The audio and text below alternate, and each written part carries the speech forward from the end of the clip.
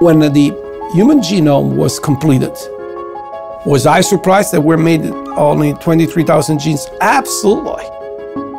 A worm that we go fishing with, 75,000 genes. A plant, 150,000 genes. So the question was, how we can explain the complexity of where we are. It was clearly that the human genome was the tip of the iceberg. We learned a lot over the last 50 years.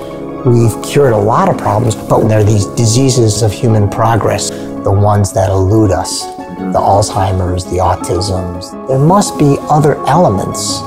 The human microbiome is the vast collection of microorganisms that inhabit every surface and cavity of the human body. Trillions of microbial cells that are living on our skin, in our gut, in our, in our nose, in our airways, in our urogenital tract. There is this ecosystem that's a major and previously uncharacterized part of us that is playing this major role. There have been so many studies published on the association between changes in the microbiome and disease.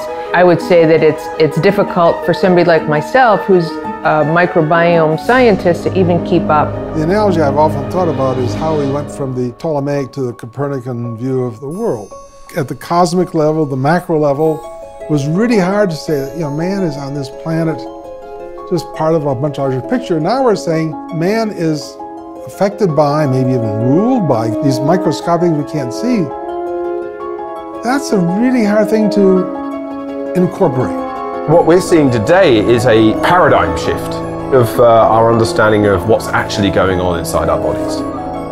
And this is a completely new way of thinking about human health.